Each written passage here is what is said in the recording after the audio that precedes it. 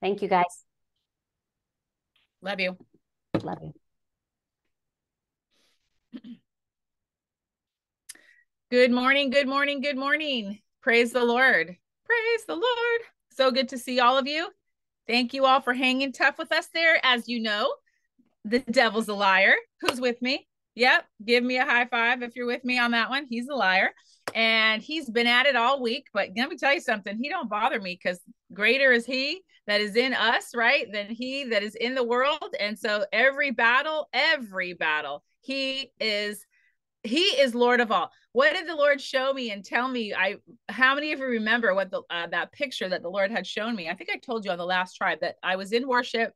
I saw the lord standing amongst us in worship. I felt this cadence under my feet of like war. And i couldn't I, I saw it very clearly and i could feel it. And i saw the lord standing with his hands raised and fists and I thought it was funny because I'm like, worship, usually you're going like this, you know, with your hands open, but his hands were fists. And he said to me, I am mighty in battle. And I'm, I'm sometimes a little slow on the draw, but I knew, oh, we're coming up to a battle. So sure enough, we were.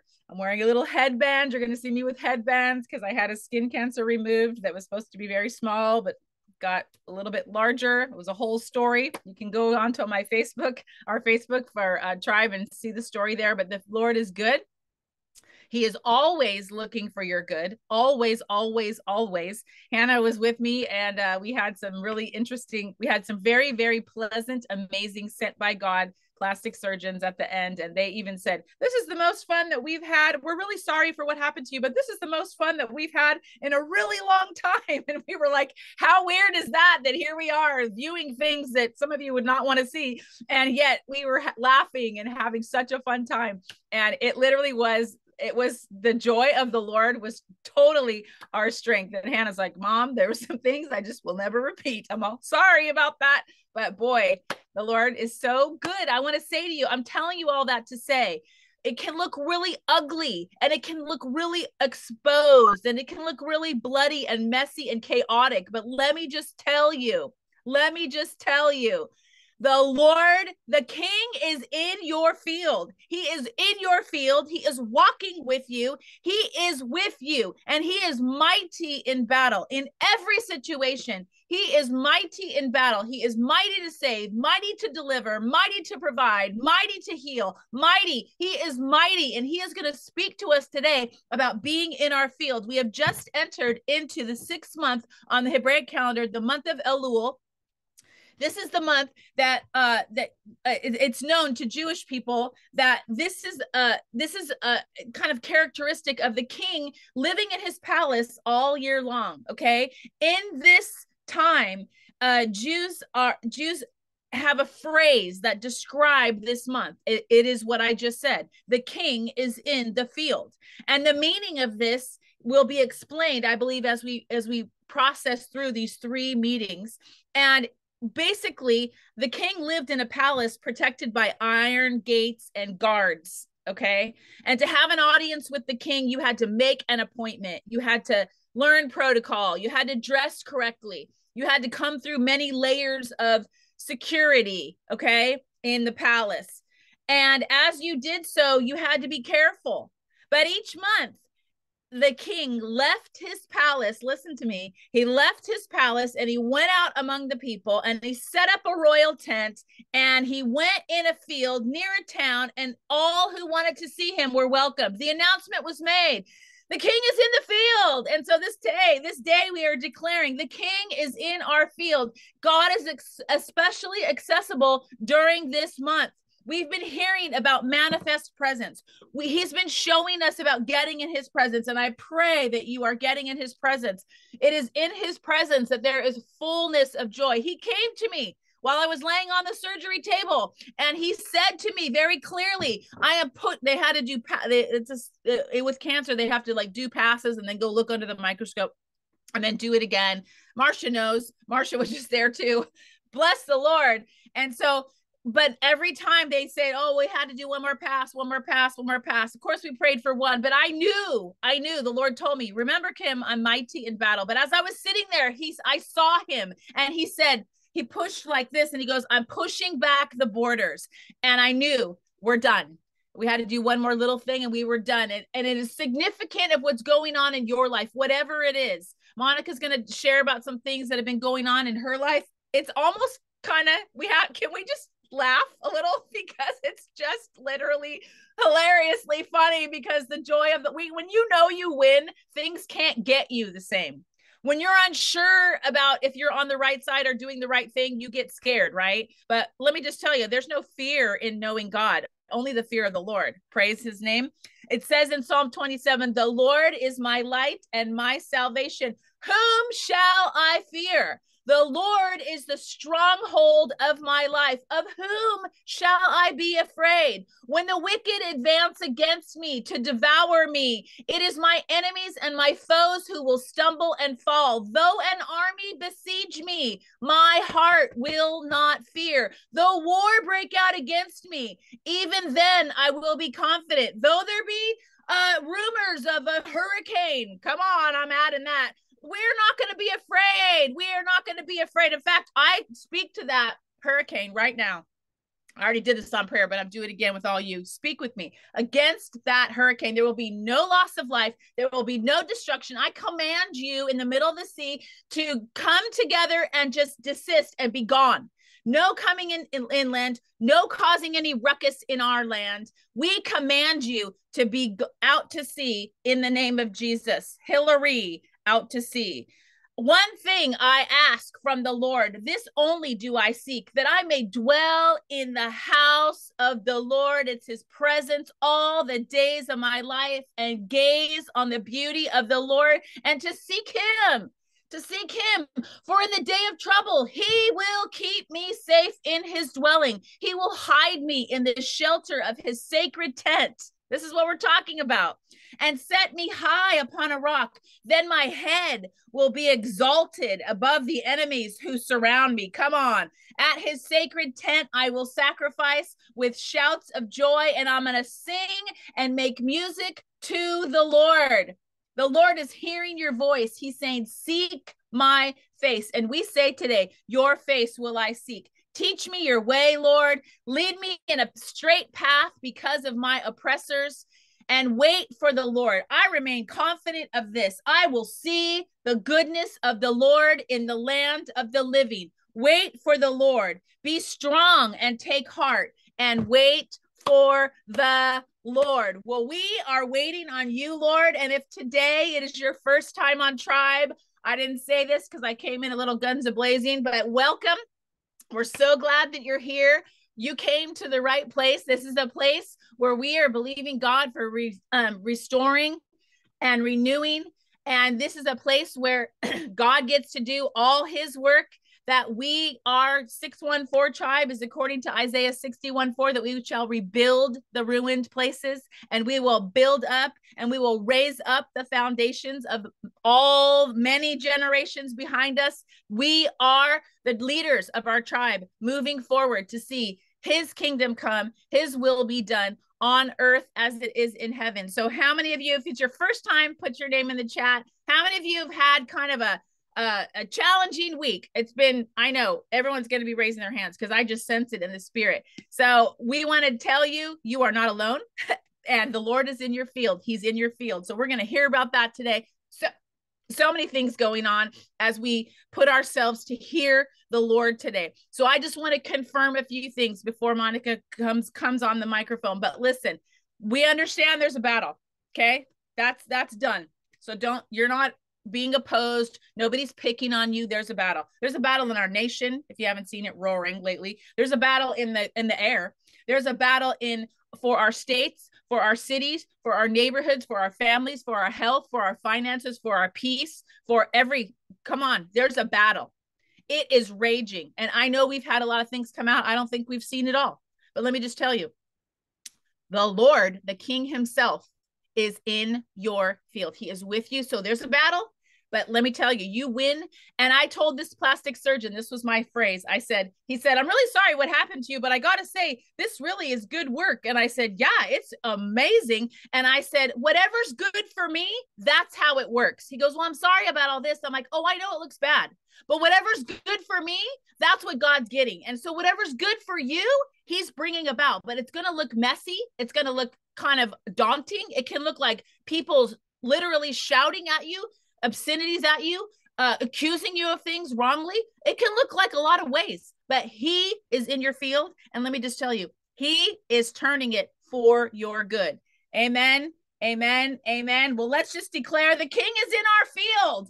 The king is in our field. Praise the Lord. Praise the Lord. We're so glad you're here. Praise the Lord. The king is in your field. I, I tell you, we're just coming out the gate hot today because you got to fight fire with fire. Right? You got to fight fire with fire. When the enemy gets fiery, we need to get fiery. We, the, we have the, the altar of God with the coals burning inside of us. The living coals, the spirit of the living God. So the fire gets turned up. Come on.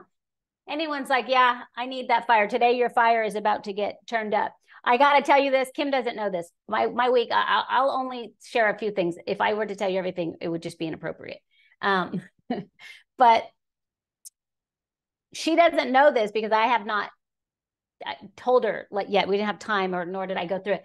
Everything she just told you is everything I was about to say.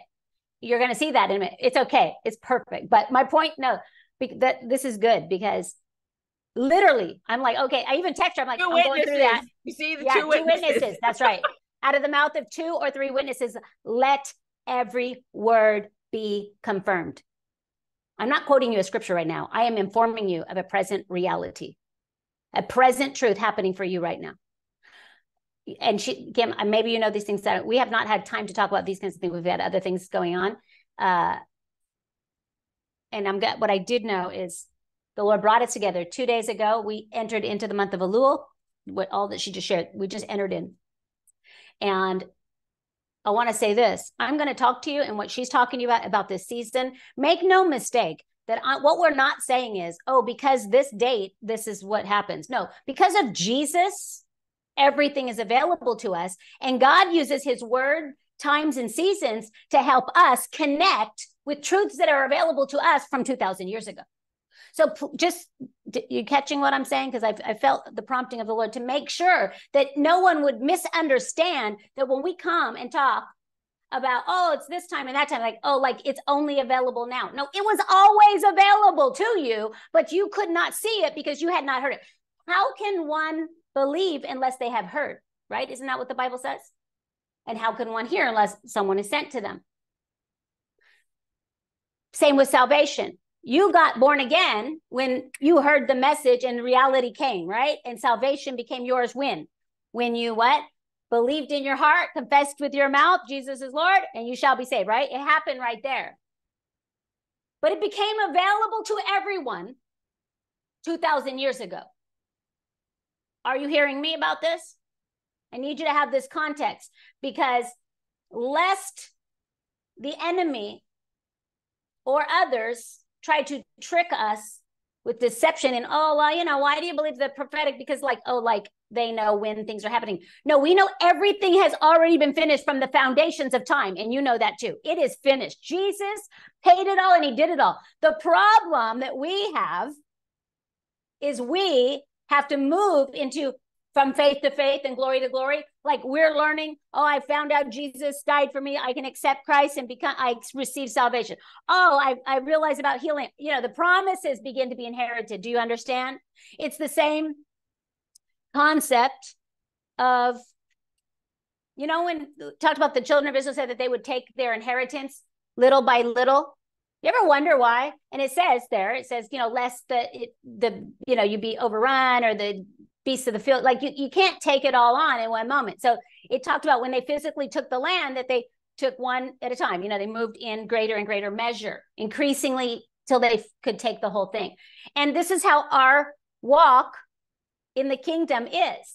You don't just get like born again and like, you know, understand everything and hold every. See, that's where people get discouraged because they think, oh, see, I got born again, I got saved, and, you know, but I still have. No, we are inheriting, we are taking the land. We're in, we've taken much of the land. All of us here have taken the, the part of the land of salvation at minimum. Most of us have taken many other areas of territory. We have entered into new territory. And I tell you today that the word of the Lord to you is that you are standing at the threshold of your next increase. You are standing at the threshold. You are at the threshold of your next increase. We're here and we've already stepped over. I see, oh, thank you, Jesus. See, the good news is she read some of the details. She shows us some things. And so we can read it, but I don't have to. I can just get on here and release the spirit of prophecy. The spirit of prophecy. I'm not going to prophesy to you with mere words, but I'm telling you what the Bible says this in the book of Revelation. Kim, you're going to have to grab scriptures for them because I'm they're just going to come. I mean, and or you guys can Google too, but I'm not going to worry about that. But the spirit of prophecy is on us this morning. He said to me, Monica, everything you've been dealing with, everything you're facing, everything that you're overcoming right now is so that you won't just prophesy with words speaking my words, although there's a time and place for that. And I am doing that. In theory, I'm here prophesying with words, but that is not actually what's happening. Let me tell you what's actually happening. The Bible says in the book of Revelation that the testimony of Jesus is the spirit of prophecy. And today I am here releasing the spirit of prophecy over you. I don't care if you don't understand the words. I am releasing to you the reality of the spirit of prophecy that comes in and transforms lives. Jesus paid it all. He died rose again so you can have it all. And you are at the threshold of your next increase. You have transcended, you have ascended. We have come to a new place, and giants are showing up. Anyone have a giant show up in their life? Anyone have a new one? Anyone have a reoccurring giant? Anyone but me, because I'm telling you this week, I have been, I, I'm not going to get into the details, but let me just tell you, I have, I was verbally assaulted you would all be appalled if I told you what someone, a grown man, screaming obscenities at me, manifesting fully. I, that's just a little take. I'm just trying to help you see. Like I'm talking about, but I'll tell you what, you know, of course, it's not like, Charlie. It's not no. Charlie. Oh my God. Why would anyone even think that? Stop. A stranger, like a nobody, like, you know, you're like, no, I'm not gonna someone you have no place in my world. You're not you, I'm giving you context. But let me tell you, Goliath was the signal for David's moment. Do you hear me? Have you caught the signal? It took me a minute. I had to like realize what is happening. I am like being accused and assaulted, and I, this is like crazy. What is happening? And it took me a minute, a couple days of like, okay, so what do I got to do? Blah, blah. And then, boy, but I'll tell you, when you get into worship, because then I got in the presence, I began, and the Lord began to show me. It, the giant is a signal that it's a time to take your position, that you have been elevated and it's time. And David, I, I don't have that in here because, but Kim did the other ones. No, he's getting, but but I, I'm not reading it. But you guys know the story. You know that the giant Goliath, the Philistine. Who are we dealing with in the last series? Manifest Presence, the Philistines. Okay, Goliath it says that he was taunting and harassing and they're hiding. And I had all these feelings. It was all coming. Come on, anyone been verbally, uh, even if, you know, or, or gossiped about, maybe they're not even doing it to your face. Maybe it's, you know, rumors, accusations, lies, threats. Hey, we're all humans. So I'm not saying we don't have things that we've actually done. But I'm talking about like crazy thought and, and you feel like what, what do i do? And all the, all the feeling the devil is a liar. We will not cower. David came up and he, he's like bringing them lunch and watching all these battle hardened uh you know soldiers hiding. And he's like who is this uncircumcised giant? Who what? Uncircumcised giant which actually, you know, I have to wonder. Don't, this is not theological. This is just a thought here. Don't you quote me on, oh, well, Monica said, like, I don't know, but has anyone, we know what it means. We know that circumcision is a sign of the covenant, right? They have no covenant. It's like, you have no covenant. I have God. And so you're out here acting crazy, but you don't even have God, and God, oh, God is with me. So we know that. But forget that nice thing for a minute. Can I just point out that we know what circumcision is? Everyone here know what circumcision is? I wonder if it was also some kind of like male insult. We are talking about private parts here. I don't know. I just know it's a pretty uh rough way to say something, you know, to the opponent. Who is this uncircumcised giant? Come on, we need to look at our enemies, not the people, because we don't wrestle against flesh and blood. And even I, I shared about this person that did this, and anyways, um, but boy, the Lord began to like speak to me like, hmm, how far can I go? Let me tell you, I missed it. I'm going to confess that I missed something so big. And so I have already, before the Lord, repented. But I want to tell you, I missed something so big. In the neighborhood that I live in, I, we, we rent in a nice neighborhood in uh, Fullerton. And you guys know from here we from here we call it the embassy. From here we do tribe. Come on, this is tribe headquarters, the embassy. And the satellite embassies of tribe are your is right there. I see all of you. Let me get my screen right. Let me see my satellite. Let me see my satellite embassies. And and no joke, and we can we'll have to post that picture. I don't have one in front of me and I'm talking to you now, but they know I have a someone made it for me. I don't know if she's on here either. Uh, Denise made me something for my backyard that says, "Welcome, uh, the Stenberg. Welcome to the Stenberg Embassy." Okay, it's in my backyard. But I tell you, I'm looking now. I got my screen shifted, and I see you. I see Jamie. I see your embassy. Come on. Hey, well, I see. I see Vegas embassies. Eileen, Come on, put your put your city in there in your state in the chat if you're able. Come on, uh, where's my embassies at? We're the kingdom. We're the kingdom of the living God. And we're not alone.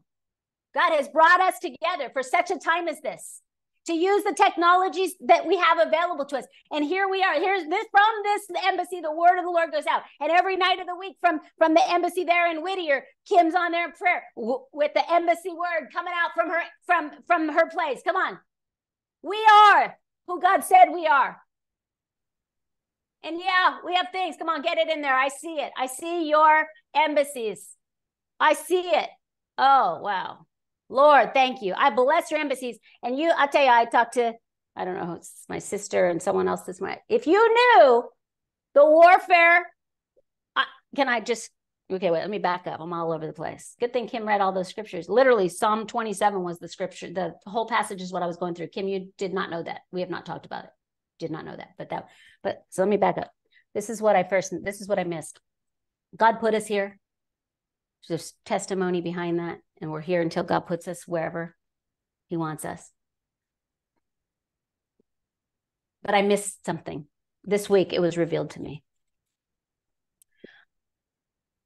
I missed that this is happening right here in this house and we're doing this. And I I have prayed for my neighbors all around here, you know. But I'm going to be honest with you. Yeah, I've prayed casually for my neighbors, you know, like, "Oh Lord, you know, my neighbors. Lord bless them." Because honestly, the houses around here, they're mine is not, but theirs are like, you know, a couple million dollar homes, like they're up the hill here. Like it's and I missed it because I was looking all I've been here five years and I realized when was the last time I wept and prayed and cried out. I have prayed for them, obviously. And even with you guys, you know, I'm like in my neighborhood, my thing. But I'm talking about being moved with compassion over the brokenness. Oh, I'll look at the homeless people. Oh, I'll, I'll drive down that street. I'll be like, oh, Lord, help them. Oh, Father, look at the brokenness because it's so apparent. But what about all them? I missed it. God says there is broken and bound and and and wrapped up but you don't know it because they live in beautiful homes and you're sitting right there. So I missed it. Now, he wasn't rebuking me. I'm just saying all of a sudden this revelation came. I'm so sorry, Lord. I was put here. Doesn't mean I have to go talking to everyone and do all that, but I can release the kingdom for them like I'm praying for my sons, like I'm praying for you.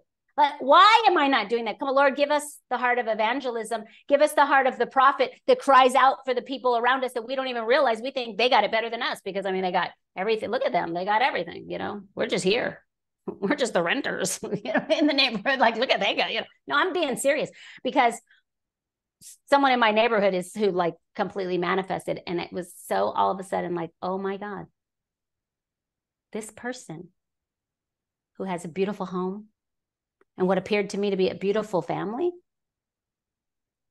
money car all the things and i just assumed they're good I mean, I think I even assumed, you know, well, they're Christian. They probably already have Jesus. Like, and I've prayed for them, but I, I saw a manifestation of, and I realized, oh God, I, I missed it.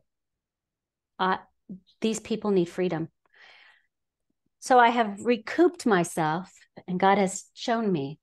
And I know that my battle is not with flesh and blood, but I'll tell you what, I'm going for it in the spirit now. I'm calling down heaven on these neighbors, on these beautiful homes where people are, are as bound as the addict. You guys know I pray for the addict. You know how I am about the, all those things because these are things that people I know. And God's like, but what about, but what about them? But what about them? But what about the ones at the top of the hill that have the most beautiful home in this city, but are so bound? Because if you don't have Jesus, you are doomed and you are susceptible to anything the enemy wants to do in your life. He's destroying stealing, killing, destroying.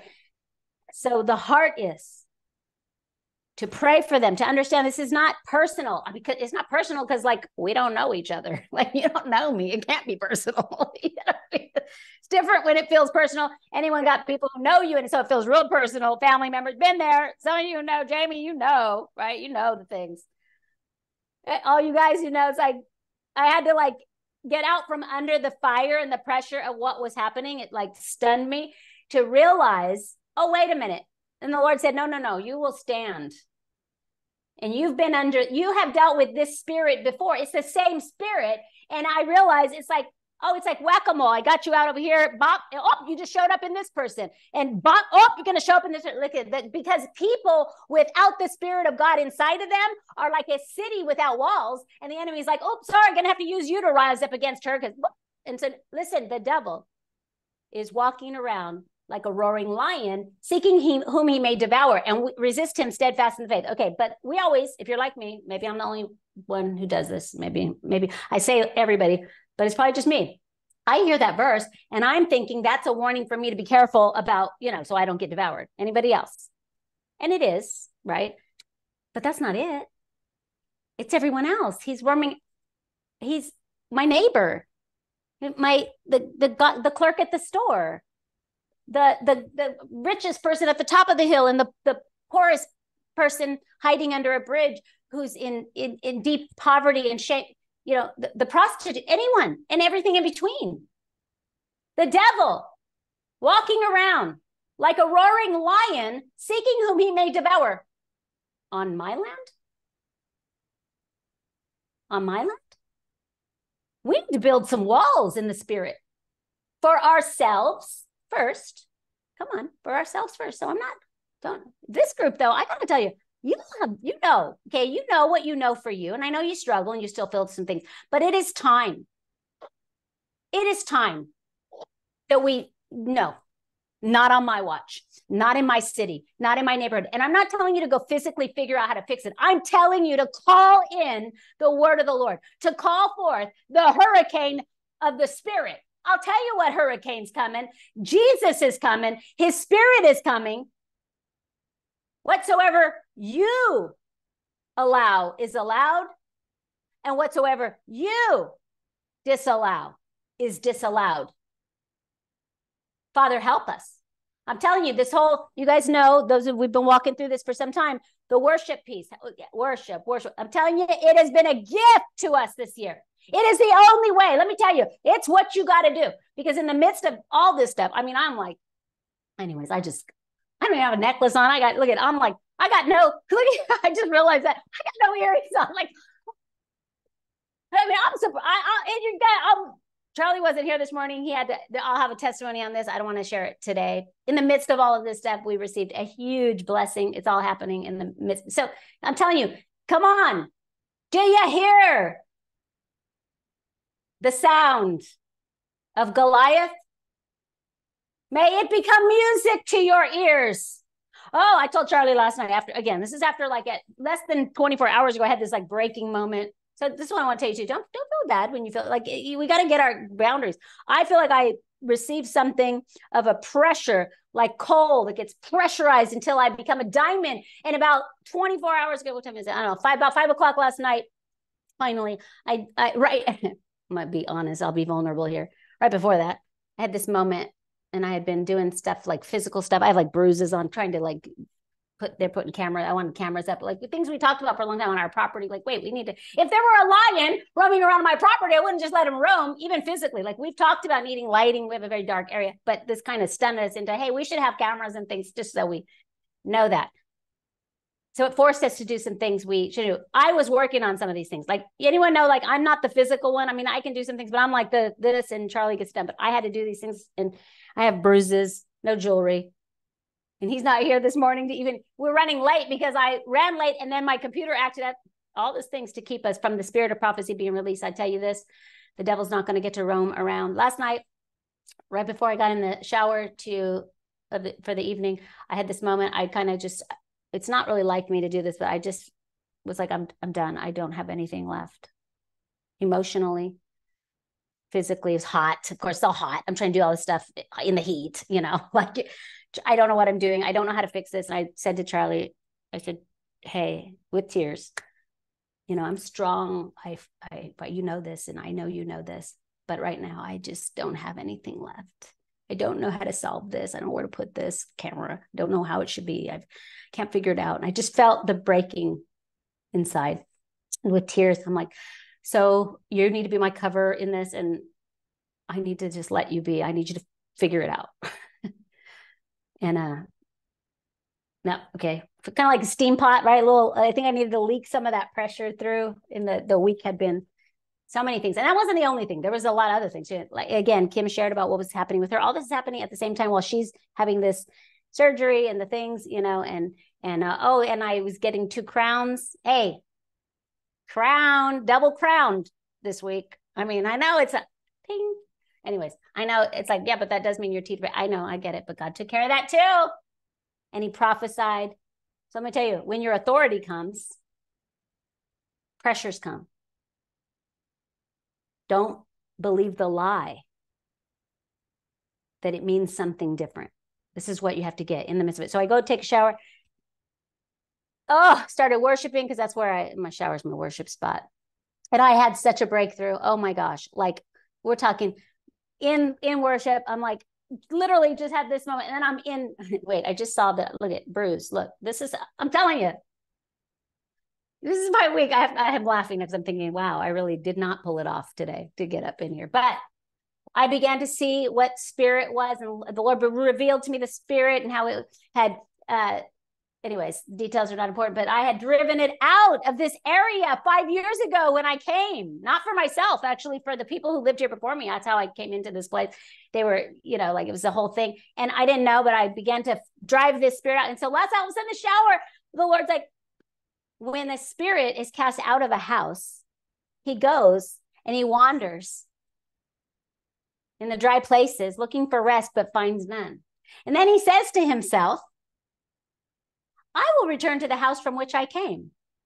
And he goes back and he finds that house clean and swept and empty, it says. And so he enters that house with seven more wicked than himself. And the last state of that man is worse than death. But this is the problem because when he came back to this house, he didn't find it clean, swept, and empty. He found it clean, swept, and full of the Holy Spirit. This place is not empty. And so in that moment, the Lord's like, and I really, I'm like, oh, I took authority, drove out that witchcraft spirit, that thing of that was uh, living in this neighborhood before I got here. And I drove out five years ago, drove it back out. The burst of breakthrough came. I'm, is this going to be too TMI, but I'll say it anyways because these are the realities.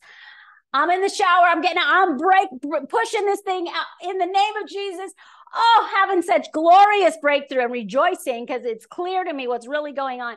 And then I begin to call in for you guys. I'm like, and my tribe and their embassies. And I began to go at it for every one of you guys, knowing God's like, oh, yeah, come on. And he said, Monica, you're the tip of the spear. I know you were feeling this pressure, pushing through this veil, feeling this pressure, but you're the tip of the spear. Now push through and let your arrow come with you. Let them follow through. And so I just want you to know that about 5:30, 5 to 5:30 yesterday, your breakthrough came. I saw it. I felt it. My husband heard it. He's like, Well, I go, listen. And I'm telling him, like, and the tribe, and we began to declare it over you and release all the things. Listen, he, the king is in the field. The king is in the field. And the month that we've entered into just speaks a word. It's it's we go to the scriptures and when we have revelation of that word and faith comes, right? We begin to receive that. And so this is why knowing things or, or letting the Holy Spirit say, hey, this is the season on the Hebrew. This is why, just so I want to bring this clarity. This is why I bring this stuff to you. I don't track all this stuff. The Holy Spirit brings it up and hey, oh, because why? Because the Holy Spirit what? Said I would bring all things to your remembrance whatsoever I've taught you. Right? That's what he does. So I'm giving context around this because I also know that, you know, different ministries do different things and and so sometimes there could be this perception that, oh yeah, you know, I have a, a good friend, I love them, and this is not an insult; it's actually a compliment. For years, he, my my good friend Joanne's husband would say, "My little Jewish friend." Well, I'm not Jewish, but because I always be like, "Oh, you know," and I'm you know always have okay, but I don't go looking for this. This is something that from very young, uh, I was just interested because when I began to read the Bible, I'm like, it, it's all you know, they're all Hebrew, they're all you know, it's where we are. So why would I not care about all that stuff, right? That, and I came up under Pastor Jack Hayford uh, who that was part of how he, you know, revealed things. So it, with balance, like we're not trying to, Kim always says that, like we're not trying to be Jewish, we're not trying to say go do these things. But see, the word brings revelation. And all these things have been written, right? All scripture is inspired by God and is profitable. that the man of God may be fully equipped for every good work. That's for reproof, for correction, all the things. So we have this. So as we step into this season, I'm gonna go back to where the month. I feel like I might have opened up a couple other uh, trails and didn't finish them, but whatever, we'll get there.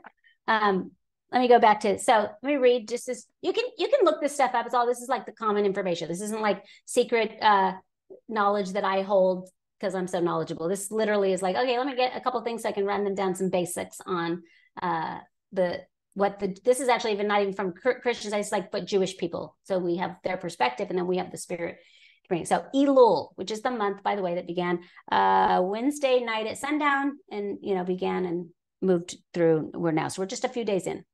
Elul is the Hebrew month that precedes the high holy days, which is going to be Rosh Hashanah and Yom Kippur up ahead. So it's it's right before. Some say that the Hebrew letters that comprise the word Elul, E L U L, by the way, for those who might wonder what how it's spelled, are these. Because uh, in Hebrew writing, it's four letters. Okay, it's Aleph, Lamed, Vav, Lamed. Okay, so those are the four letters that make this word. Some say that the four letters that comprise the Hebrew word Elul, Aleph, Lamed, Vav, Lamed, are an acronym for this Hebrew sentence. Ani ladodi vidodi li. Okay. A verse from the Song of Songs that means, I am my beloved's, and my beloved is mine. So this whole month, the, the mindset is this is what it's about. The overriding theme, regardless of what it feels like, is I am my beloved's, and my beloved is mine.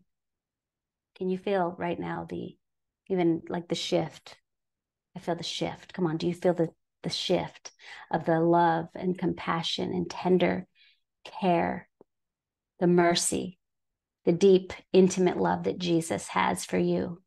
I feel it. It wash, you know, and I believe even as I broke in that moment and told my husband, I, I don't, I'm done, I'm tapped. Which, by the way, he was probably like, "Oh, thank God!" So she'll finally let me help. Like I am not easy. Like he's great. It's not that he wouldn't help. I don't let you, you know, because I'm sure I know best, you know. But finally, I got to my where I didn't have it. That weakness, that moment, that vulnerability. Come on, don't hide from those moments. You want those moments. We want to let our lover in. Can you handle that statement? I am my beloved's, and he is, and my beloved is mine. That's what you all right. Most often interpreted as a love poetry between two people, the phrase also reflects the love between God and the Jewish people. This is a Jewish website. So, yes, it is the Jewish people and it's us. Okay. Especially at this season, as we assess our actions and behaviors during the past year and hope for blessings in the coming year. The reason that is, is because this is the, what's called the six month on the So, in at the end of this month, the next month, Rosh Hashanah, the next month will begin, and it will be the month of Tishri, and that will be the new year for the on the Jewish calendar. Their number system will shift. It's like our January 1. So that will happen in one month. So this is a time of reflecting. So it'd be like December reflecting back, you know, on the year. So again, so this is the season that they're walking in. Several customs during the month of Elul are designed to remind us of this season and help us prepare ourselves and our souls for the upcoming holidays. Okay.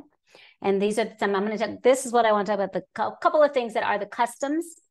Now, I'm not saying we have to go do these things, but these customs have prophetic meaning to us. And you may feel inclined to do something. In fact, you'll I'll tell you, but but don't feel that you have to. I'm not saying to do this. It's awakening us to to something and the season and the freshness. And he's trying to bring us to the next city to inherit to inherit. He's trying to bring you to the next boundary. Kim talked about uh, this hold and the warfare is mighty in battle, but then she talked about that the borders were, you know, he's reestablishing your borders. He's expanding your borders. Someone needs to write that down. Someone needs to say, y'all need to say it out. Come on, my borders are being expanded.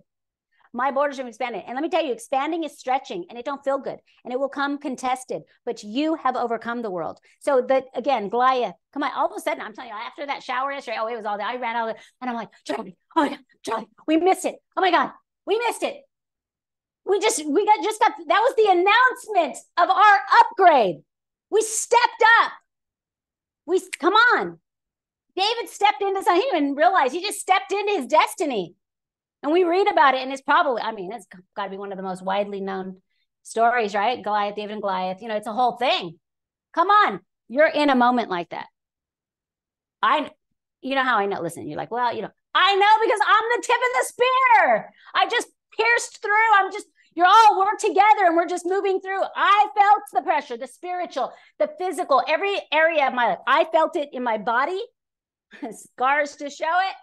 I felt it in my spirit. I felt it in my mind. I felt it in every dimension of my being. I'm telling you, I physically felt it. But then it this breakthrough came and I felt the power like a what is it like an atomic bomb like it explodes and reaches out and it came out for me and it came out and exploded into your world too i know i was there me and jesus and charlie we saw what god did for you last night at 5 p.m the announcement did i read any of these yet no okay number one one the customs couple customs blowing the shofar. Blowing the shofar. Some of you, if you're on social media, would see that my husband uh, the other night, I put up a post of him blowing it. I, yeah, listen, he's. I actually planned on him blowing it today because I literally cannot blow this. I got this in Israel on my first trip to Israel, and it's been sitting up here, and I can't. It's like I don't have what it takes to blow this. I can blow in words, but I didn't have it. And so he bl- was blowing it. So um, I'll give you like a fake you know, I can't, but it's it's it takes power to go through this. I'm telling you, I literally wait. Is that Deb? No, Veronica. Uh, Veronica, I don't know if yours would make the sound. Are you able to blow it? If you are, wait. Can we get her sound? I want to hear the sound. I can probably do it. Hold on. I don't know if she's blowing. Veronica, can you hear me? You're muted. I would like to unmute you if you can make the. There we go.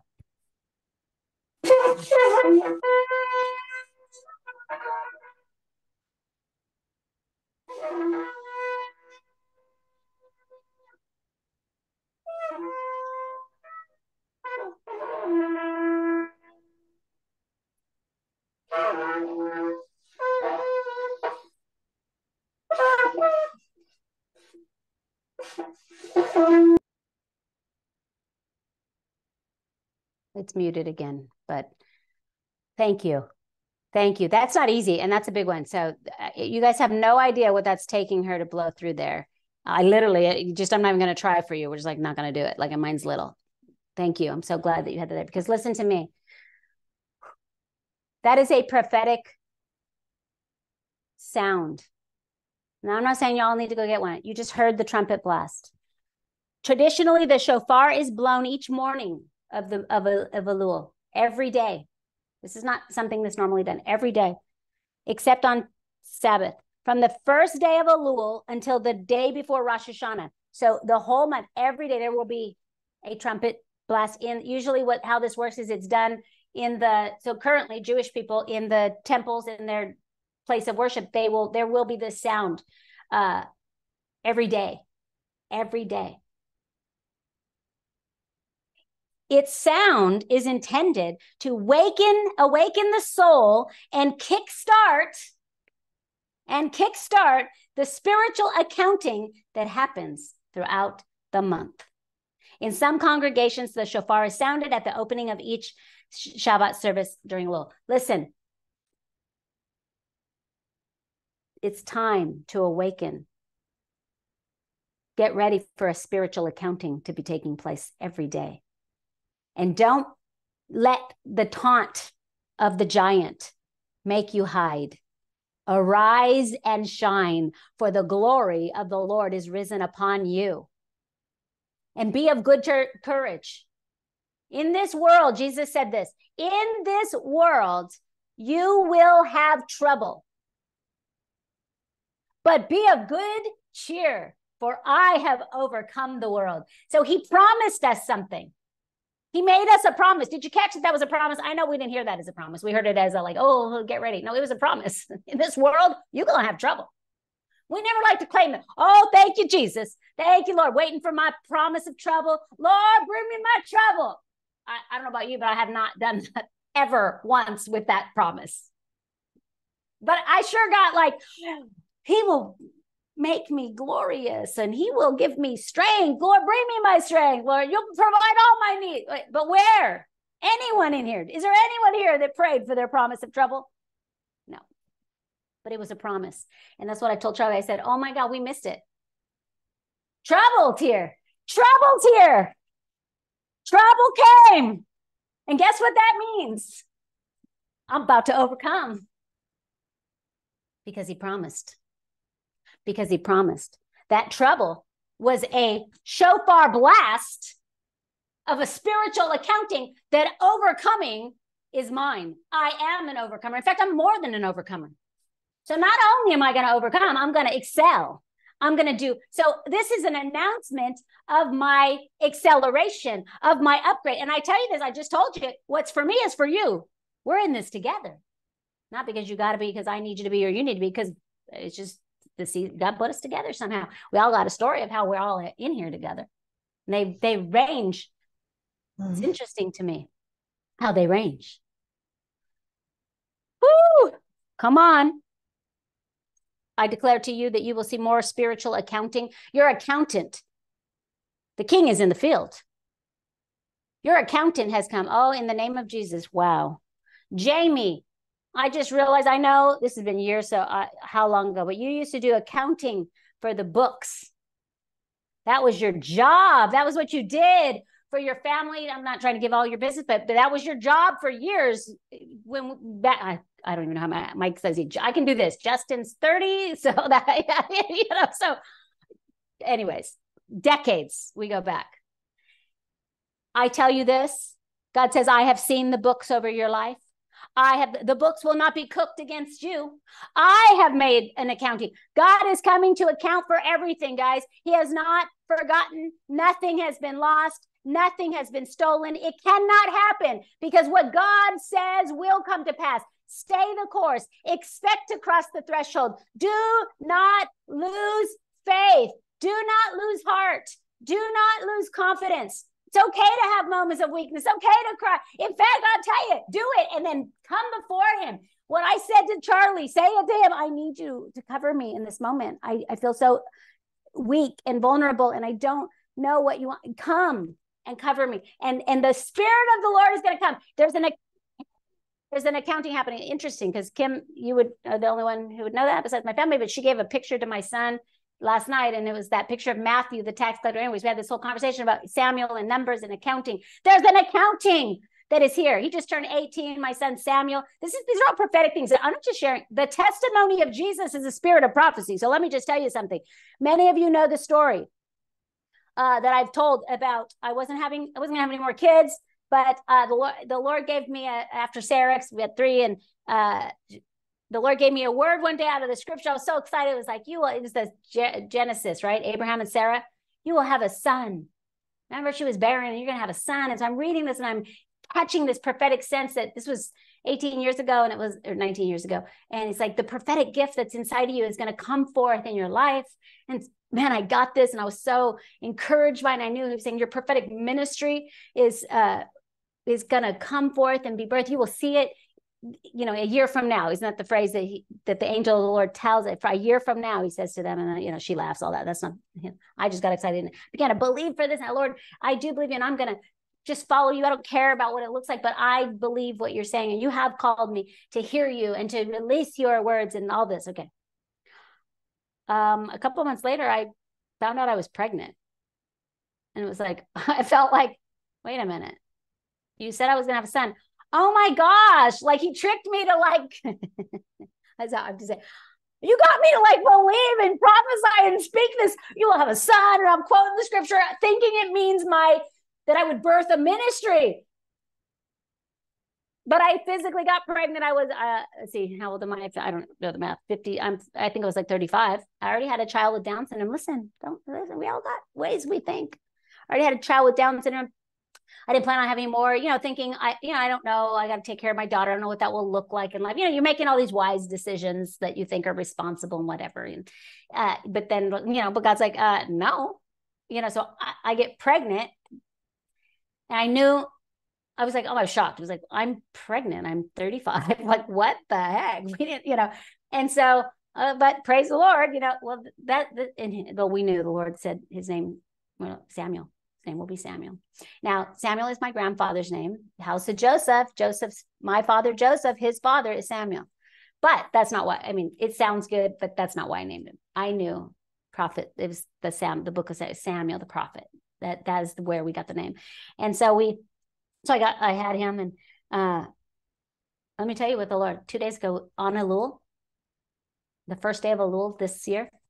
It doesn't always fall the same on our calendars just because the cycles. It fell on Samuel's birthday this year and he turned 18 years old. And I hear the Lord saying to me and to you, the, the prophetic words, the words I've spoken are in full maturity. Technically, 18 is a, an adult, right? And the Lord's been whispering to me, I'm bringing them all into adulthood. I'm bringing your promises. The prophetic words that I've spoken to you are now in mature form.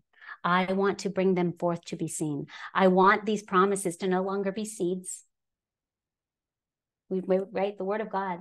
We take these the word and we plant them in our heart as seeds. He tells us that it, we the whole Mark four right the, and the word of God and it's like in some on this soil now they're, they're seeds that are going to start to grow. It's going to be a plant and then it's going to be right and eventually it's a full grown tree producing fruit, but it starts as a seed. It's nothing but a, a, seed that has to be protected under the the soil and it all the things. And boy, that that probably be I'll probably be looking at that stuff. So I just love the that how nature speaks and the germination. It has to go. Though, in fact, Jesus said that unless the seed falls to the ground and dies. I don't know what felt like death to you for the last 40 years I know. I was all like for the last, you know, year, uh, like 50 and anything in between 50 years, 40 years. But know this it's coming into maturity. And you're finally going to be able to eat of its fruit. You hear me? You are going to eat of its fruit. I don't care what you're like, yeah, but that can't happen. Don't you tell my God why it, how it can. You have no idea. He spoke the universe into existence. He made the human body, which is like too much for me to even talk about, like the intricacies of, he created everything. There's nothing too hard for him. He says, Behold, I am the God of all flesh. Is there anything too hard? We have crossed a threshold I do believe it has to do with the, you know, like a timeline of Chronos time, chronological timeline, and a Kairos time, like a special happening. We were born for such a time as this. Like, don't even. Esther had to be right. She such a time that she was born. You know, he, what did Mordecai say to her? and I think we're going to get maybe get to some Esther, read Esther. We'll, we'll maybe get to some of that in the next week. She was born for such a thing. You, this moment, all the things. Listen, he is not a man that he should lie, nor the son of man that he should repent. So if you are seeing trouble, rejoice. You're right on target. I, I tell you, it didn't feel like it felt crazy. I was stunned this week the things that came. But God's already begun to break open some other things at the same time that I was like, oh, all these great things are happening. But this is taking all the energy because it's so crazy, overwhelming, like potentially dangerous. You know what I mean? Like, I'm like, hey, pray for my protection. Like, this got, you know, like, okay, but so that, but oh, Jesus, don't let me be distracted by the lies and the threats of the enemy. We'll, we'll get into some of that. Okay. Blowing of the shofar. Number two, saying special prayers. So this is what the Jews do. We, you know, this is not like we're doing some special prayers, but it's connecting with a theme. Okay. There's penitent prayers. What did I just say about my neighborhood? Like, wow, I, I got it. The wait, I missed it. I didn't see the need. I didn't, you know, if if if I you know, like I said, when you see a physical, like, oh my God, they're so addicted. Like, oh, it's so like, oh, you see, you know, oh my God, look what the devil's done to them, right?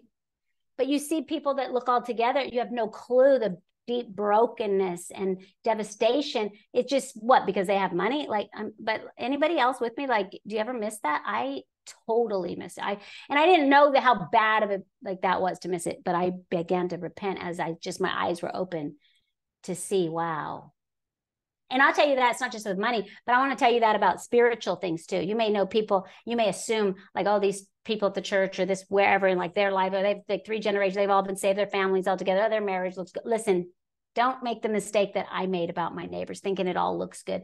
Trust me when I tell you, we all need him so desperately, so desperately, every one of us. And we need to we need to see the spirit of the living God we need to see the ark of the covenant make its way back into the people of God. We need to see the spirit come back to the people of God, not just, oh, I'm a Christian, but um, no, no, no. Listen, we need what just what we in our last times together, and we saw that that that, that the Lord had them that the, they sent back the ark, the presence. We need, come on, we need to begin to, to call forth the spirit of the living God. Oh, I prophesy right now. Come and blow on these dry bones. I see the church of Jesus standing, and many are doing great. I'm not passing a judgment, but I see that there's some dry bones, but they're standing and they're in the kingdom. But Father, you're saying prophesy to the breath and tell it to come and blow on these.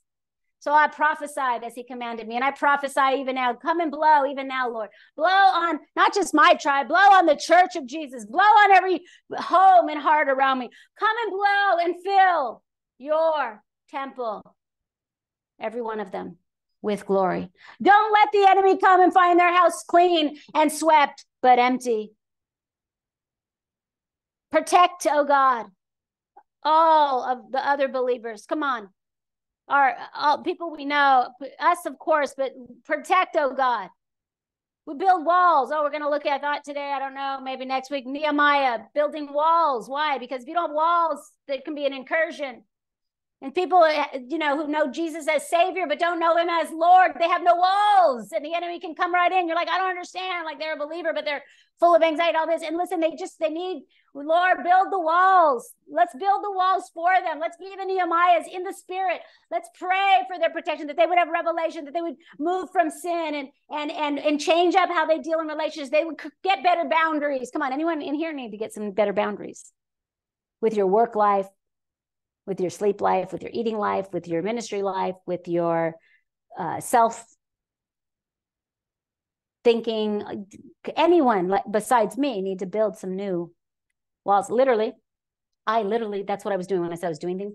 I have an area that's very exposed, and that's where someone came and was like screaming at me into my own property. And so I built up a, a I'm like, the Lord gave all of a sudden, I was like, oh, the Lord gave me the scripture. My sister in Song of Solomon, and I wasn't putting it together with the month we were in. And that, but he said, My sister, my spouse is a garden enclosed. And immediately I was like, Hey, we can just build like a lattice thing here. It just will give us a little more, you know, just coverage. So we have privacy in our space and no one can come and do what just happened, which is insane. Who would five years? Why would I ever think someone, you know, I don't know, maybe someone will come into my private space and scream at me. I don't know, but it happened. So we built, we got to build some walls. We got to build them emotionally. Come on, we got to strengthen our emotions that when people act up and get crazy and accuse you or hate you or treat you wrong or ignore you or listen, it's don't don't get personal. Like let's get in the spirit and know, hey, we need to be praying for people. It's not about that. All right, no one but me. But anyways, I love you guys. I, I hope this is all okay. I did think we were gonna uh we are gonna I thought we were gonna do Ruth all the way through this period. We will get to Ruth uh, next week because Ruth is another, by the way, another key uh, story that the in Hebrew culture they read this story and there's some context that we'll talk about in the upcoming weeks about why and, and but I'll tell you this. Okay. So another thing they do, Kim did not, I don't think you knew this. Maybe you did, but we didn't talk about it. Um, one of their other uh, customs is reading Psalm 27.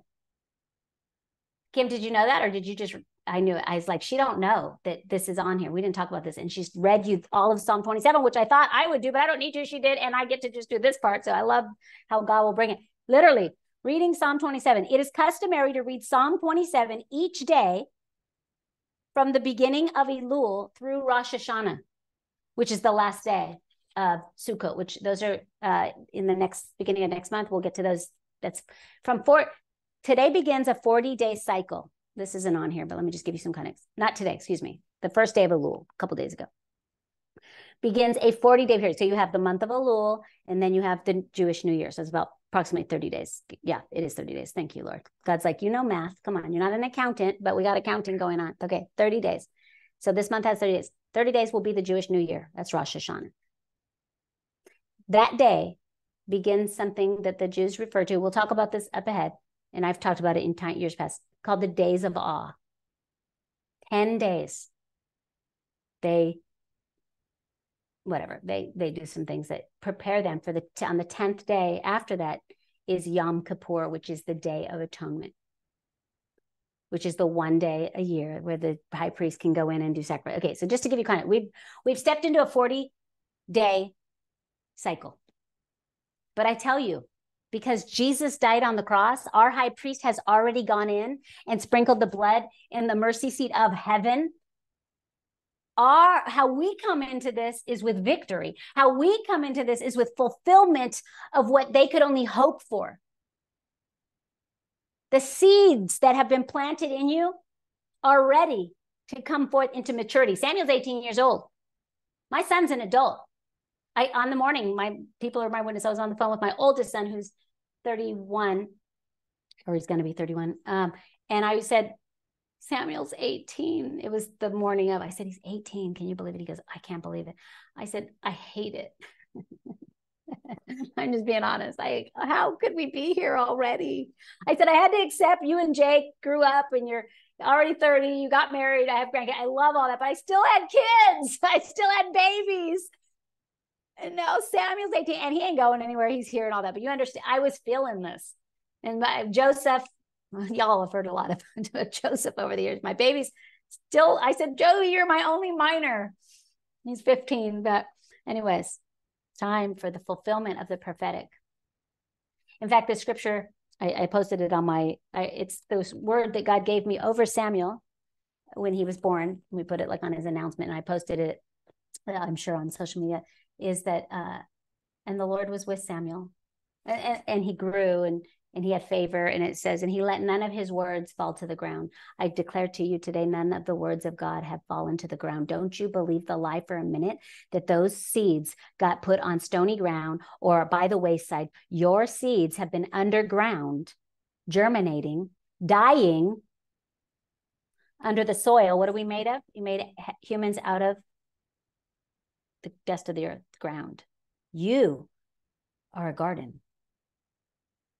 My sister, my spouse, a garden enclosed, protected, though you feel exposed.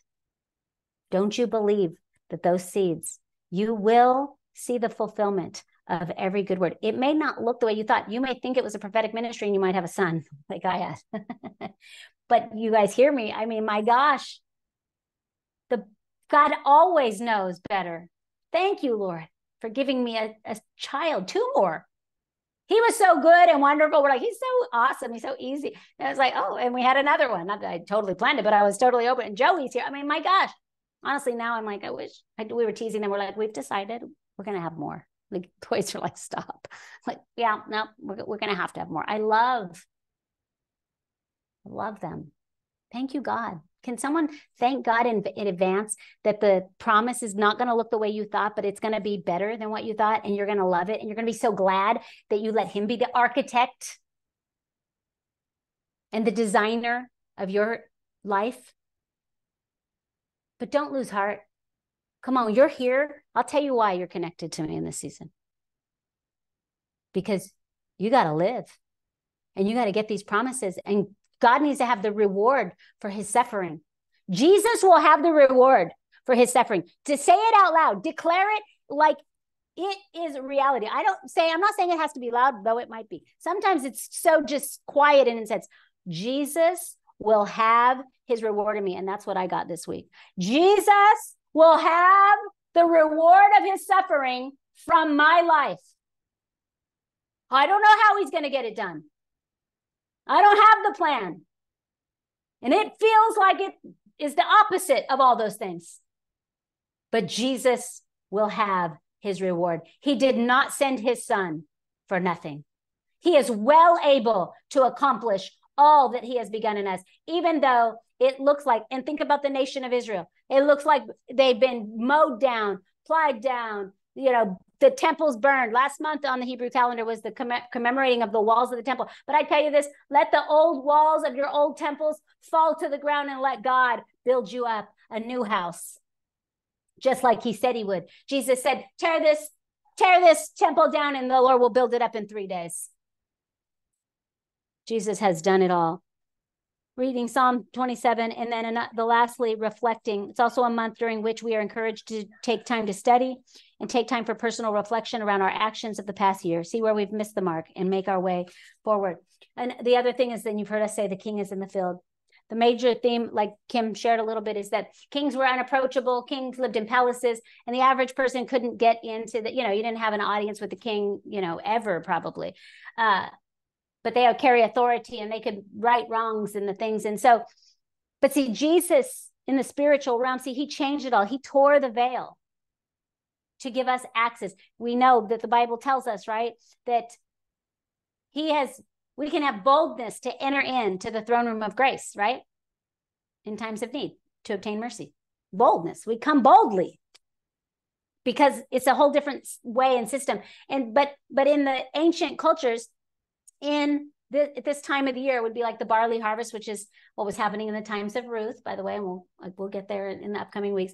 Um, when the barley, when the harvest would come, the king would come to the field. So they, she, she mentioned they'd set up like a, you know, a palace style tent and he would be more accessible and and common folk would be able to have interaction with him and maybe even in cases it'd be like you know, hey, this happened. And, you know, like sometimes people get justice. It's a time of vindication. Oh, here we go. I know we're, we're wrapping this up here, but vindication, right? Yeah, I hope you're catching what God's saying to you. Vindication. There's so much happening. I, I will tell you, I'm in a bit of a, um, the word I would use is a, I don't even know the word I would use.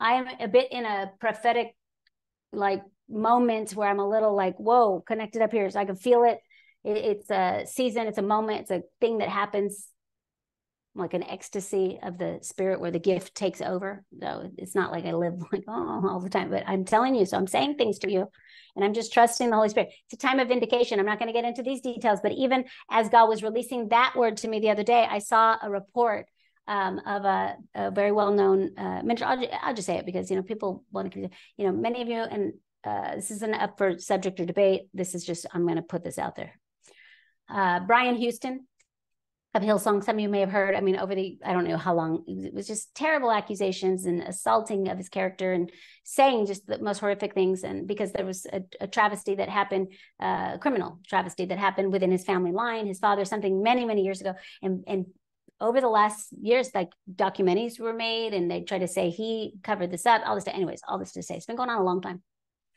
Yesterday, I think it was was it yesterday or the day before? Elul, was literally on the first Elul.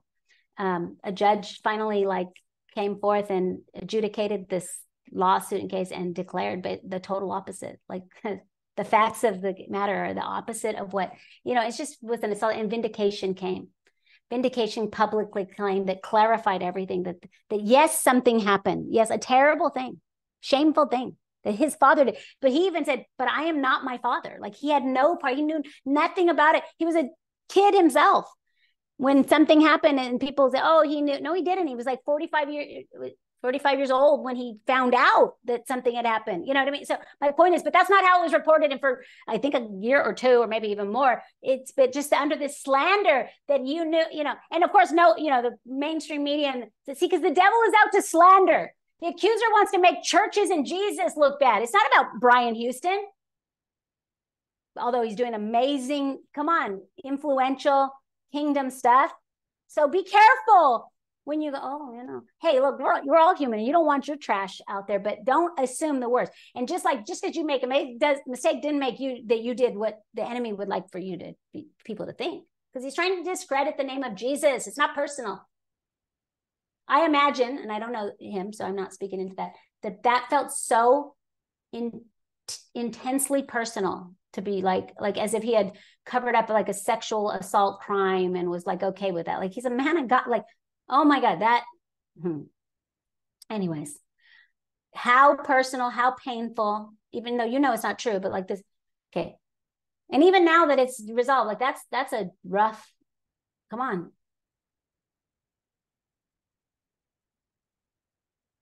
In this world, you will have trouble, but be of good cheer, for I have overcome the world. And Jesus promised us persecutions. So I told Charlie, oh my God, wait a minute. We just got another promise. Persecutions. That means we're stepping up. It means we're moving in the right direction. It doesn't mean we're perfect. I'm not saying it means we, it just means like, hey, come on. Let it be the shofar sound. Let your enemy's taunt be the sound of the shofar. He thinks he's talking smack to you and he needs to see that you respond by, oh, I hear it. I hear the sound of my next season. I I got to step across this threshold because the enemy has showed up. The king is in the field and he's bringing vindication and justice. Justice is being served for you. Vindication is coming to you in your families, in your mind, in your body, in your finances. There's a spiritual accounting. Remember, I said about the accounting. Come on, expect an accounting in your finances, a supernatural, miraculous accounting. God's, God's, remember, He owns it all. He told us, He taught us what to do. And I'm not saying we've nailed it every time, but uh, you know what? He told us what to do. Lay not don't lay up for yourself treasures on earth where they can get all broke into and but lay them up in heaven. So that's where your accounting comes from. He'll release it. Spiritually, physically, emotionally, relationally. The king is in the field.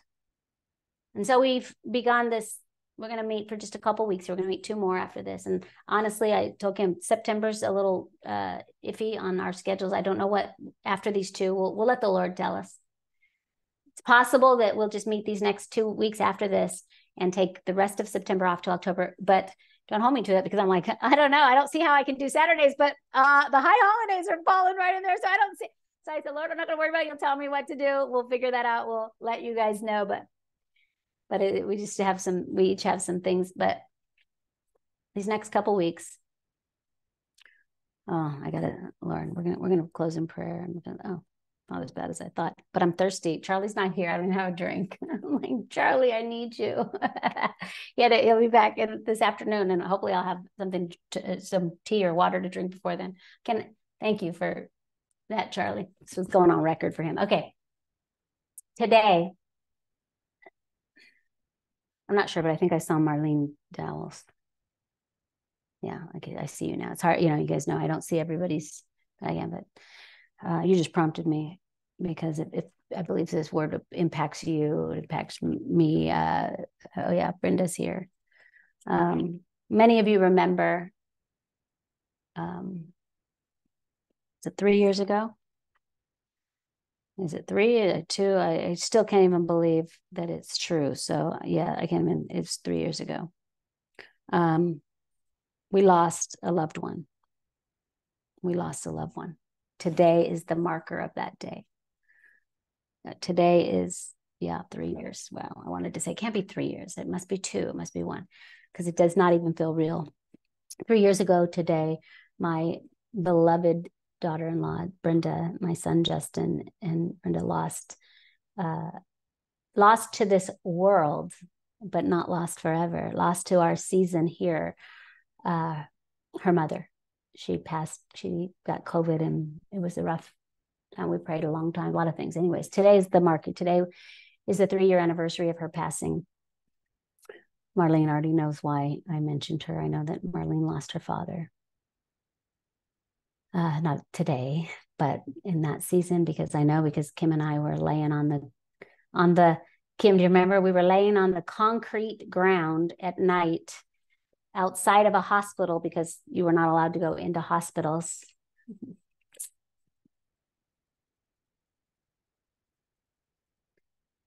We were laying on the concrete ground separated. We weren't even, I wasn't even having contact with Kim because, you know, I have my family.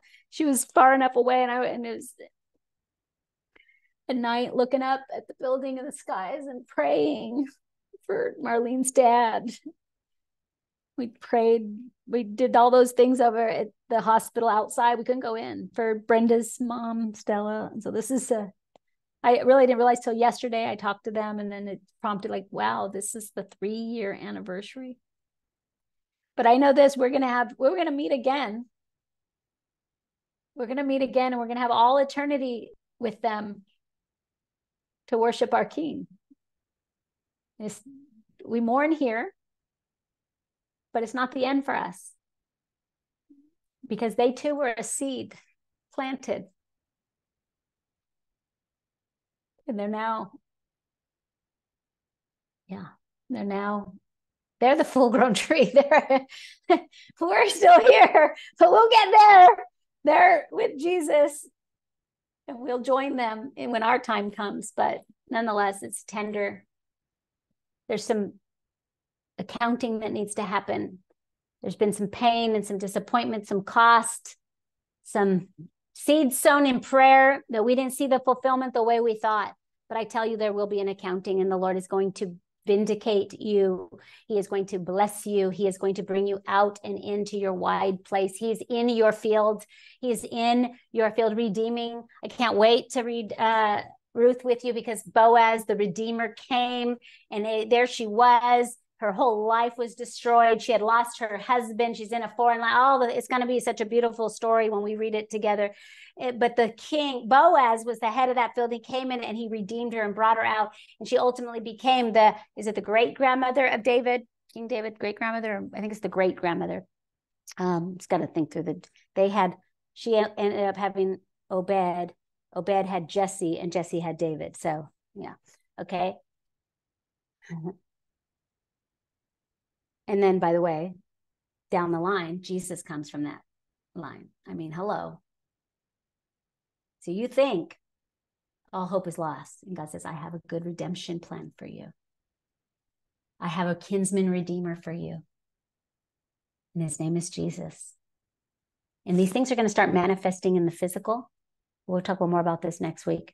But I want to say this I want to set you up to begin to bring these things before the Lord. Let the Lord bring these things back to life, these dry bones, these dead things, these promises that are in the ground that you they're dead they're gone like it can't be fixed this promise about that i mean you know like your child there hey i'll give you a warning be careful some of y'all just may have a baby you're like wait i have i said the other Jamie, I saw your face. You're like, wait, what? Yeah, I know. Linda, Linda's laughing. Don't laugh, Sarah, laugh. Wait, you... Linda, don't laugh too hard. Carol's all, I'm keeping a smile, but a straight face. like Listen, God has plans for us. He says, For I know the plans that I have for you plans for good and not for evil, plans for a future and a hope. I think the NIV says, not, you know, plans for, uh, welfare and not disaster. I declare that disaster lies a lie. Disaster will not come near us. No evil will befall us. Our King is in the field. He is with us. He is for us. And our time of love has come. And I promise I'm going to end with this. I feel like I keep looking down going, oh, that wasn't as long. I'm doing, I mean, I'm going to close, but I keep feeling like it must be after 12. I feel like, because I feel like I'm just throwing all kinds of stuff at you. it's bubbling out of me. And you know what? That's another promise. He said that, ah, oh, out of your belly will flow rivers of living water. I am flooding your land. You may, um, listen, you think I'm just talking to you, but I am sending a deluge of the spirit of prophecy and the spirit of the living God and the truth and the breath of God all over your land till it floods and destroys everything the enemy has built, destroys it and re- rewrites the very terrain of your life that God would be glorified. Father, we don't want a safe, easy Christianity. Some of you are like, wait, I didn't agree. Hey, you no way you are not we can't it's not an option anyways devil's liar it don't exist. We need to have radical lives.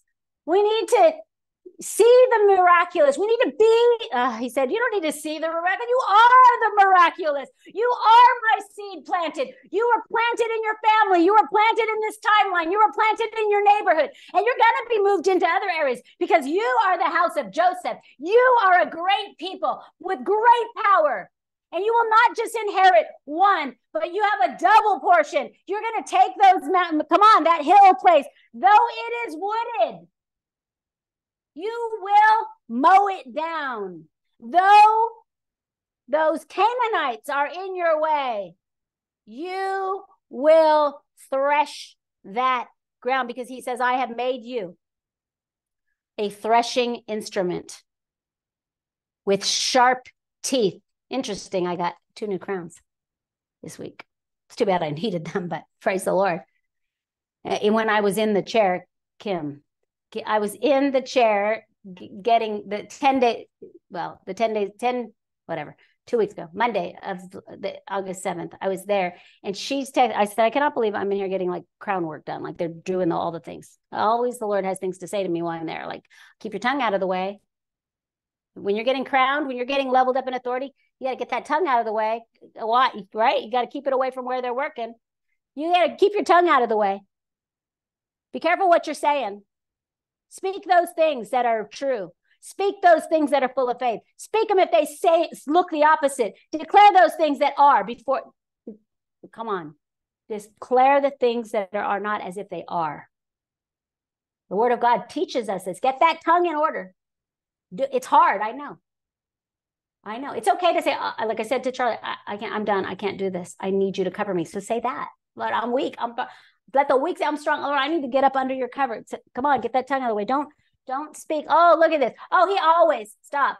I could be like the person I said that attacked me. Oh my God, if I were to tell you, I could say all kinds of he's a city without walls. He's broken down in, in obviously the devil's able to get into you and make you act crazy. Like, wow, that is sad. Lord, help this man, redeem his family, restore him, bless them. This is why Lord says, bless those who persecute you, because he understands the kingdom. Father, forgive them, for they know not what they're doing. They don't know they're being used to attack the people of God. They don't like Goliath had no clue what he was getting into. David's like, who is this uncircumcised giant? Sling those stones guys sling those smooth stones of worship. Word the word of god. All right i know i'm keep saying it. Let me close with reading you this. Out of song of solomon. When i'm going to hop around. I'm in song of solomon. It's not going to be in order because i just want to get a couple of these verses in because i couldn't believe it. Again remember i am my beloved and he is mine. This is that whole month. And the lord then close i'm building lattices when it's maybe all done i'll send i'll put pictures. Um because it looks great. I'm like, oh my God, I love this. I wish I would have, you know, done it. I didn't, you know, I did it for like this reason. But the truth is, it's hello, it's for my good. Like Kim said, this thing that she had to have done. I told her the other day, I'm like, I am sorry. She's already told you all her business. I'm just gonna say, I'm like, Kim, I know this is that. I said, but I think you got like an eye lift because they had to pull they literally. So like I'm like, okay, so it's terrible that you had to go through this, but literally you're coming out of this like a little seriously. I was I not over there telling you like I'm like, wait, I think I need you're hello what the enemy means for evil will be for all your good even things little things that you would think well that's superficial okay mm, right did y'all brush your hair today like come on it's okay to want I'm not saying we should be obsessed with things, but let God, let God lavish you. All right. Song of Solomon. All right, Lord, where, which ones are okay? It's all so good. You should read Song of Solomon from the perspective. I'm giving you lots of reading work. Yeah. Hear him this week. Let him speak to you. But let me just throw um so much good. While the king, okay, I should tell you, Song of Solomon one. I'm gonna read something and I'm gonna probably pop around. I'm gonna start at 12 because why not? While the king is at his table, my spikenard sends forth its fragrance. A bundle of myrrh is my beloved to me that lies all night between my breasts. Okay, I didn't see that coming. just, just keep going, but whatever. but let me say this I love you, Lord. You're so funny. He's like, don't be all weird. It's okay.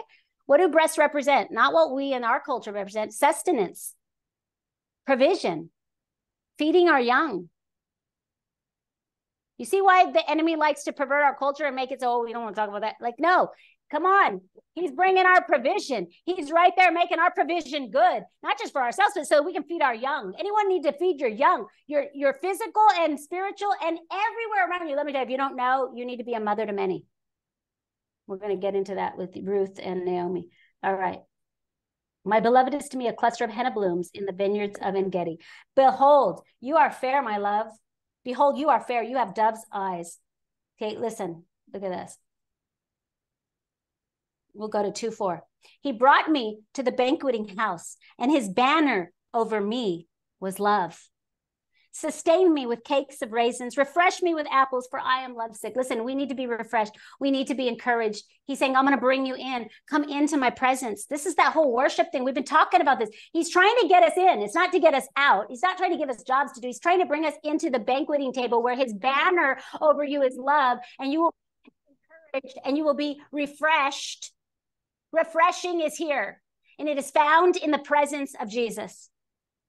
His banner with me was love. Sustain me with the cakes of raisins. Refresh me with apples, for I am lovesick. His left hand is under my head, and his right hand embraces me. I charge you, O daughters of Jerusalem, by the gazelles or by the does of the field, do not stir up nor awaken love until it pleases the voice of my beloved. Behold, he comes leafy, leaping upon the mountains, skipping upon the hills. Come on, he's coming up over your difficulties. He's coming up. He's coming. He's entering. He's coming to rescue you skipping over the mountains are like obstacles you cannot seem to climb or the difficulty and he said i am going to skip and leap right on over into your moment. My beloved is like a gazelle or a young stag. Behold he stands behind our wall.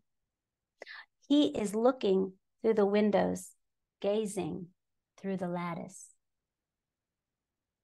He's looking into your life. You guys don't even know. For me, I read this not knowing. I just put five things of lattice up. I have bruises all over because I was putting lattice up. I did not connect this literally till this morning when I was on the phone with someone. She's like, I told her something about what they said in the scripture. She goes, wait a minute. And she reads it. It says lattice. I'm like, no, just stop now, Lord.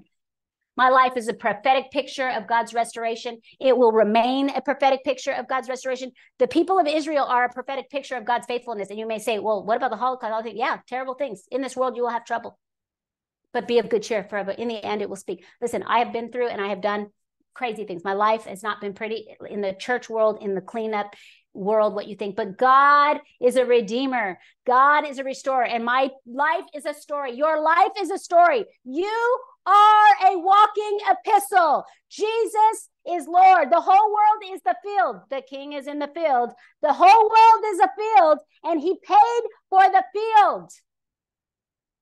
And he's coming into his field, and he wants you, but he also wants everyone around us. He wants to harvest the field. Oh Lord, we're gonna we gotta save that for I guess next week. But do you understand what's happening? The barley harvest is here. He wants to harvest the world. He wants to come for his harvest. He's in his field, and you are a part of this. You are his beloved. Okay, 10. This is where I guess I'm gonna have to find a place to end it for now, but this is gonna this is where we'll go. Verse 10. My beloved spoke to me and said to me, Rise up, my love, my fair one, and come away. For lo, the winter has passed, the rain is over and gone, the flowers appear on the earth, The time of singing has come. Sing, O barren.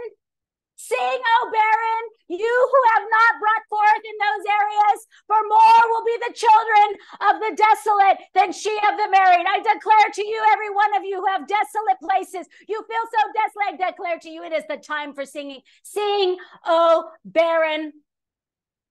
Sing.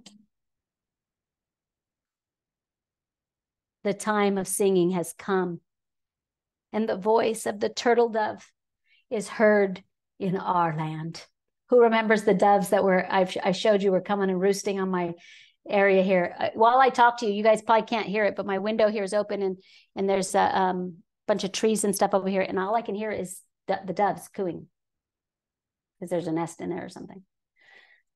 The voice of the turtle dove is heard in our land from this embassy, of which you are all satellite embassies. We're all connected embassies in our areas, just like that's what an embassy does, as you know.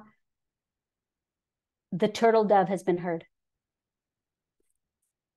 The fig tree, which I have, by the way, oddly, on the this side of the house is a fig tree. The fig tree puts forth her green figs. And the vines with the tender grapes give a good smell. Rise up, my love, my fair one, and come away. And of course, is oh, oh, my dove, in the clefts of the rock, in the secret places of the cliff, let me see your face. Listen, he's saying that to you. I know we say, let me see your face, and we ought, but I'm telling you, he's saying, come away with me.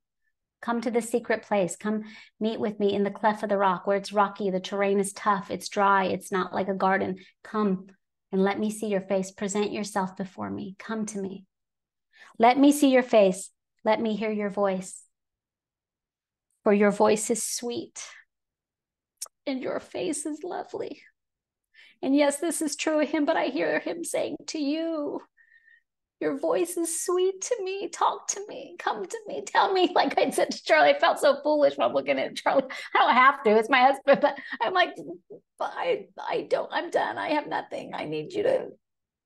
I'm just not used to being that way in the natural all the time. Maybe and Jesus is saying, "Come to me. It's sweet to me when you come to me.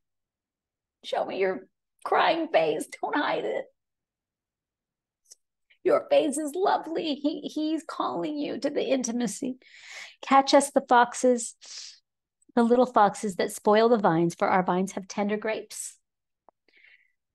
My, and this is now the, the, the bride. This is how, my beloved is mine, and I am his. He feeds his flock among the lilies. He's calling us in the season of Elul, the time where the king is in the field and the very name of the month has this connotation in the from the Hebrew, by the way, who they wrote the stuff. I don't care what our Christian thinking is. We think we don't need this stuff. Like we need to know more. We need to have understanding. We need to hear the voice of the beloved. We need to learn more. We need to have revelation. God is bringing us into the deeper places. Saying this again, it's not just available to us now. It's because of the cross has been available but for whatever reason where we are on the timeline of our life where what our hearts or what we've grown into our he's brought us together to invite us in. So father i thank you on this day that is filled with even the remembrance of the loss stella's passing on this day. It's a tender day. It's a painful day. It's a painful reminder of painful times, but you are with us and you are real and you are true. And and death has no sting other than our own missing here because you are real. And our loved ones that knew you are with you, and we will join them and the heavenly host in casting down our crowns and saying, Holy, holy is the Lord. Worthy is the Lamb. You are worthy, O God. You're worthy in the midst of the storm. You are true.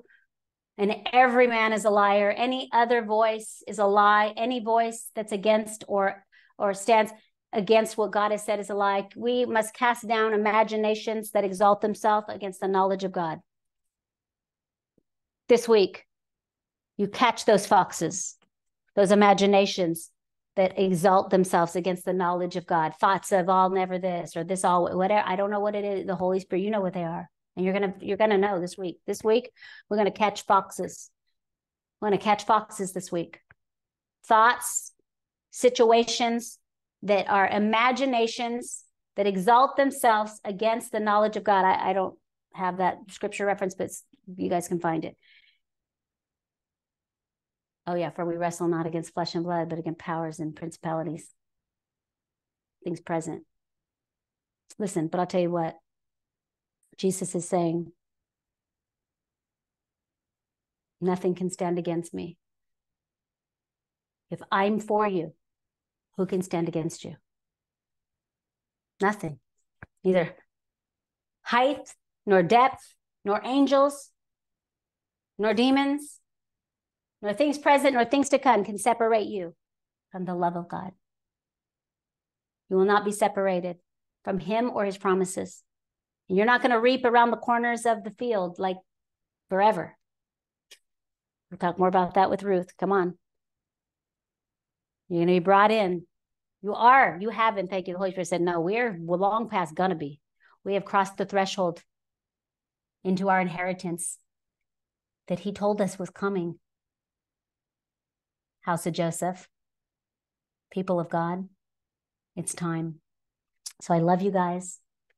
I bless you. At, twice this week, I thought, why did I say I would do tribe this week? Like all the stuff that was happening, like I am in no condition to see that. But of course, the Lord's like, oh no, you'll, but before that time arrives, we'll be having our, you'll be presenting your face before me and we will fix all of it. I will give you a new perspective. shift. You're going to get a new perspective shift this week. And we're going to continue to push through. We're fighting for you. Listen, as I fight for me, the devil pushed me into a corner and he got screwed. Don't you push, he pushed too far, pushed so far. I can say screwed. She gave me a funny look, but he pushed me too far into the corner. So I had to come back fighting. But I didn't just come, I'm not just going to take back what's mine. I'm going to take a toll. And so I began to take it for you guys and you're taking it for one another. We are in this together. Okay, I know I said I'm going to go, but I three times this week thought of this and I almost made the call, but with everything I couldn't. Susan, um, your neighbor, you've had neighbor issues. I know about. Yep. I want you to know that three times this week, I realized that when you were sharing them with me, and I prayed with you and we did all the things, that I did not at all have context of what you were feeling. The emotional, the pressure that just the spiritual context of all until this week when I had a similar situation. Not, not exactly the same, but and I want to tell you first of all, um, I'm sorry that I didn't. I mean, I know you were like, what? I prayed with you, we talked, all that, but I want to say I did not feel what you were feeling. And I got a taste of it this week and I realized, oh my God. So many times this week we prayed for you and and I prayed for you knowing with detail, Lord, oh my gosh, this is what she was feeling. And it's a spiritual thing. It's not just what people do, it's a spiritual thing. And so we pushed back that and we're on it with you. And I love you. And I know it was hard and it still may be, but it's the Lord is with you and he's with each of you. So I wanted you to know that too, because I was like, oh, I need a caller, but there was just, I couldn't. It's been crazy. But here I am to publicly vindicate you. It's not personal. You've been planted there and the devil wants you out. You are a problem. All of you are a problem for the enemy.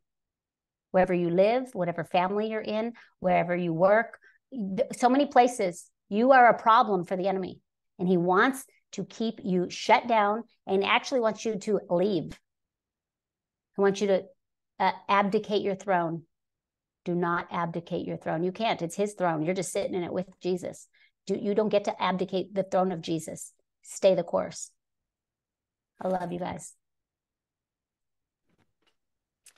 Okay, just as a wrap up here, just a few th- two things. I think I said it at the beginning, which was number one, there's a battle.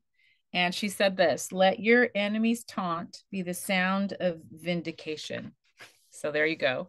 It's admonishing and admitting that this is what's happening, but let it be that taunting that could try to come let it be your sound of vindication like the shofar blowing during this month that we're remembering that he's in our field. He's always in our field but remembering that like she said. And then number two he the king is in the field.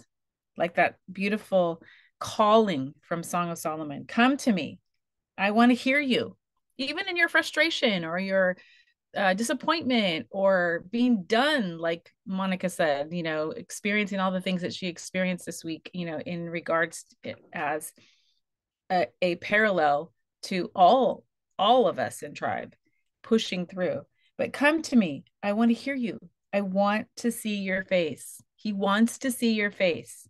Even if it's just for a few moments he wants to see your face. He wants to hear your voice your words calling out crying out to him and she read from Jeremiah 29 11. I looked up the message version. It says this this is God's word on the subject. As soon as Babylon's 70 years are up and not a day before, he's talking about the battle, I'll show up and I'll take care of you, just as I promised, and bring you back home. I know what I'm doing. I have it all planned out. I have plans to take care of you, not abandon you.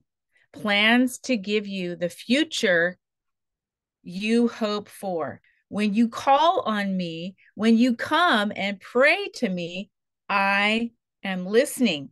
When you come looking for me, you'll find me. I love this part too. Yes, when you get serious about finding me and want it more than anything else, I'll make sure you won't be disappointed. This is God's decree. Praise the Lord. We'll keep looking at that. That's a really awesome um, call from his heart to us, standing at the lattice, calling to us. Come on. I want to, I want to, I'm peering at you. I'm gazing at you. So the Lord is good. We are so thankful for this day, for all of you. Bless all of you. I pray that as you continue through this weekend, in your house churches, wherever the Lord has called you to worship, that you'll worship, that you'll praise his name, that you'll give honor to him, that you'll you'll see him and invite him into your field and let him be part of all the everyday things that he's doing because listen, it might look a little crazy right now, but all that's good is coming to you.